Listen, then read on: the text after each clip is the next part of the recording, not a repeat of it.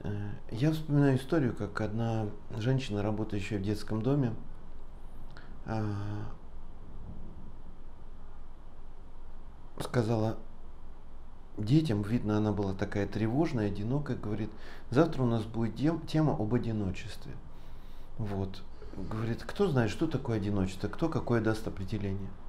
И один мальчик сказал, одиночество это когда один ночью. Один ночество. Есть прекрасная такая вот, ну, другое слово, которое дает, ну, конструктивную, что ли, метафору того, что иные называют одиночеством. Уединение. Если уединение – это мой выбор, уединиться, найти для себя пространство, где я осознанно отрешен, отключен от других голосов, внутренних. Внешних, во-вторых, внутренних.